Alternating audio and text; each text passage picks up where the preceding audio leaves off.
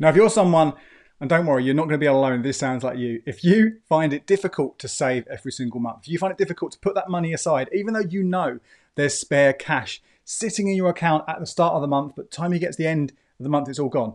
If that sounds like you, I'm going to tell you about in this video an app called Plum that could very well help you do that, move that money automatically to a separate savings pot with you barely noticing it.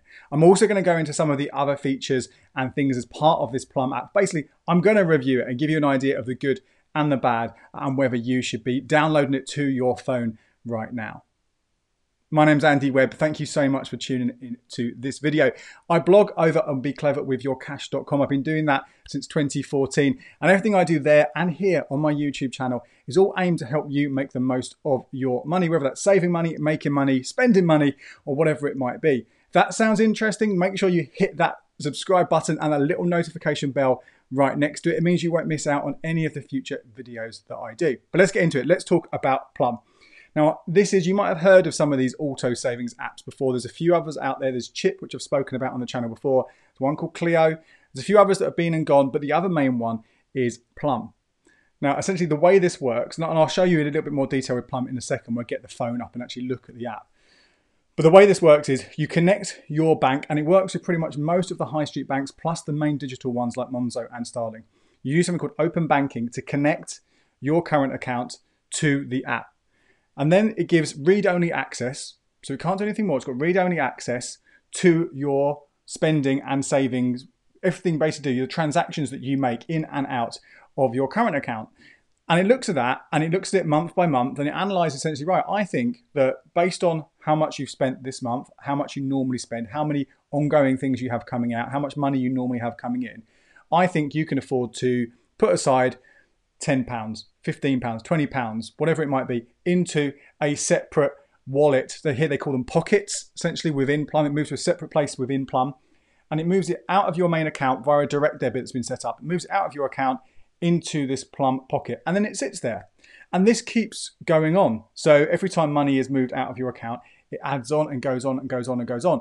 The idea is the money that comes out of your current account into Plum, this is the same way that the other AI uh, artificial intelligence algorithms work with Chip and, and Cleo and others, is that you're not really, there's small amounts that you won't really notice. And if they're out of the account without you noticing, you can't really spend them either. So if you check your balance and go, can I afford to buy this? You go, oh, I haven't got that much enough money. You don't spend it. Whereas if it just sits in that account normally, you probably find ways to eat it up. So it's a very, very clever thing. I'm a really big fan of this, of making you just move some money across. And again, you really, you barely notice it. Obviously, you can say no, you can stop that move over if you want. So you can transfer that money back if you need to. So it's not going to cause any of those problems. But it really, really, really does help you save very, very quickly. There are some uh, other things on Plum as well, other ways to help you automatically save, which I'll go to in a minute. But that's the whole idea of it. Now, the really good news about Plum and why I'm talking about it now, whereas before I've talked a lot about Chip, is that Plum is free for this. They do not charge you for this artificial intelligence algorithm, this auto savings feature which I think is fantastic. There are some paid options, which we'll talk about in a minute, but you can just open it up for free, won't cost you a thing, connect your bank, as I say, and then just start having those automatic savings coming out of your account. I think win-win. I think it's fantastic. If you stop watching the video now, you, you know at least you've got that. You know that you're going to help yourself at save some money all the time. But there are other things that happen with Plum. So let's have a talk about those as well, because I don't want you to sort of uh, think this is a, uh, you know, an outstanding endorsement for everything they do. There are some things I'm not a huge fan of, uh, but there are some extra good bits in there. And also, I'll show you exactly how to make sure you get those auto setting savings, uh, saving settings correct. So you don't want to make sure you save too much or not enough or, or fall afoul of a few other bits and pieces. Okay, let's start off. Let's have a look at the app. Let's see what's there. Um, I'll take you through all the different features, how they work. At the top, you see a couple of boxes. I'm not going to talk about the investments one right now. Yes, you can use Plum for investing at a very sort of just from one pound, but there are other options out there. This isn't something that I talk about a lot. So I would do your research on how Plum works for investments if that's what you're interested in. I'm talking about it here in terms of savings and managing your money. Now this pockets, this is where your money is going to go to when you automatically save using the algorithm. And you click on that and you'll see a few options at the top. If you want to, you can deposit more money straight away. You can withdraw the money all really simple, easy to, to use and find. Uh, but you'll see there are a couple of different pockets that I've got set up here. The primary pocket is the one that you get when you open the account. And that's one that if you don't change it, where all your money will go. With a free account, you've got the option to set up this basic easy access savings pocket. Now that doesn't pay a huge amount of interest, only 0.25%, and it, that actually fell just uh, at the end of January. Not a huge amount of interest, but that is better than the literal nothing, the literal zero interest that you get in the primary pocket.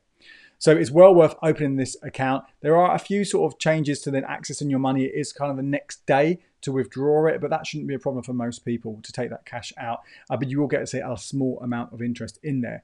Longer term, I wouldn't keep a huge amount of cash in there because you can get higher rates of interest elsewhere. So I would move that money on a regular basis every week, every month, whatever it might be.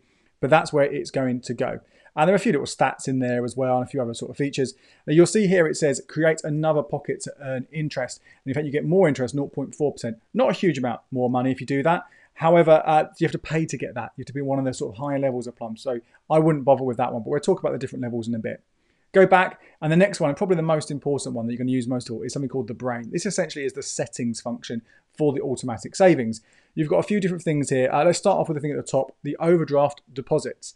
This is something you can turn on or off. I would always have this turned off because if it is on, it means the automatic savings functions you've got can take money from your overdraft. So if you're at zero or minus £10, minus £100, whatever it is, it might still transfer cash across. And that's going to cost you money because overdrafts now pretty much are all charging around 40%. So I would always have that turned off. There's no point saving money if it's going to cost you money because you're not going to make it back. So I would have that turned off. Okay, really important there. And then we move on to the savings rules. Now this one, the automatic one, is the one that I spoke about before. Uh, we can turn it on here and you can tell you what is going on. You've got some options here. You can see you can pause them if you want to pause it by a week, two weeks, a month, or you can choose a date. So if you know that things are tight or other things are coming out, just temporarily pause it uh, and that means that auto savings don't happen. The next one, current mood, is basically kind of a, a kind of a way for you to kind of say how much you want them to save. The normal mode, the default mode, will save a, a kind of a, a reasonable amount. Okay, a decent amount of money will move out of your account. You can increase that if you want to. You can up to 75% more will go from your main account into your Plum Pocket, or you can reduce it down. The lowest mood there, as you can see, is one called Shy, uh, 50% less savings. You can have that set however you want. You can play around with it, move it anytime. Doesn't make a huge amount of difference. Um, so I've got it here on every four to five days. Actually, it's every week it will do it default mode. But if I don't want to do it anymore, I said mentioned before, I can pause it or I can just turn it off. Now you can hint into you to change your mood or pause it or turn it off. Okay, really easy to do. And that's how you manage that automatic savings account. There are some other options which come for free, some other savings rules which are worth explaining. First one here, roundups. This is something you might be familiar with, particularly if you've got Monzo or Starling, but actually a number of main high street banks offer this now as well. When you use your debit card and those other accounts, here it's whenever you spend in your connected account, it looks at like kind of how much that costs. It's say £1.50 and it will round up that amount to the nearest pound. So £1.50 rounds up to £2. The difference is 50p. It would automatically move that 50p from your main account into, in this case, your Plum pocket. Now I've got it set so it does this uh, once a week. It rounds them all up together rather than doing them piecemeal. That's probably kind of a little bit easier, a little bit more convenient. Um, but that's on there. Now, again, if you've got an account that does this already, you might want, not want to do it with Plum. But again, there's no harm if you're happy and your aim is to try and boost your savings. That's not a bad feature. The next one is something called paydays. And you might think, hang on, paydays. The best time to set money aside is just after you've been paid and can help do that automatically. This might sound a little bit familiar because essentially this is just a standing order, right? One of the best ways, this is what I always say to people, if you want to make sure you are saving automatically, yes, this app is fantastic and does great things for you. The best thing you can do is set up a standing order straight after payday to move a certain amount of money into your savings account. That's really easy. You do it once and it carries on doing it forever. The difference here is you're moving the money rather than from uh, your bank to another savings account, you're moving it into your Plum pocket. Personally, I wouldn't use it on here. I would stick with the traditional uh, standing order method. In fact, I would go for a regular savings account, move that money. You can get some decent ones out there. If you're a member of Club Lloyds, right now you can get 1.5% with that. Uh, up to £400 you can move every single month. Uh, if you're NatWest, you can get 3%, but only 50 quid every month. But even so, that's a lot better taking advantage of those accounts than it is using this payday function. So if you want interest in this kind of thing, just set up a standing order. That's the easiest option. Now you can see there are a couple more here. We've got rainy days and the 52 week challenge. And next to them is the word pro. That basically means to get access to these, you have to pay money. You have to pay uh, a certain amount. I'll, I'll, explain all of those in a second, uh, exactly what the costs are and what you get from the different tiers. But what you've got to understand straight away, really obviously, is that rainy days, which is a lovely idea, Every time it rains, then your money gets moved across. And the 52 week challenge, which is, uh, you might be familiar with these saving challenges. There are a number of them out there, but this is one where uh, every single week a different amount of money of cash is moved over. So in week one, it's a pound. In week two, it's two pounds. In week three, it's three pounds. Although they are great ways to gamify the savings experience and hopefully help you save more, you can do those for free elsewhere. You can do with Monzo, and I've got a whole video you might want to check out. You can connect Monzo accounts to something called IFTTT, if this, then that and you can basically make these happen uh, without having to pay for it. And in fact, there are loads of other things you can do. So check out that video if that sounds interesting. But I would ignore both of those. I would ignore paydays. Roundups is worth looking at unless you're using it elsewhere. But that autom- automatic one, that is fantastic, and it is the only place you can do that for free right now. Um, a couple of options down here. You've got a splitter thing here worth knowing about. This is basically if you've set up that easy access account, that 0.25% paying account, not a huge amount of money, but you've set that up, uh, you can move the money over there rather than to your primary pocket. And you have to set that up. You can also split it 50 50 if you want to, because you might say, actually, this pocket over here I'm using for something, and this pocket I'm going to use for something else. So you've got two separate funds, but although that money is moving at the same amount, depending on how you split it. So that's the brain. That's the main thing you need to know about there. Uh, a few other things that are going on here. Linking your account, as I said, very easy to do. You use open banking. So as long as you have uh, the app on your phone for your bank, it's very easy to connect, and it, it works for pretty much most of the major UK banks, the big ones at least.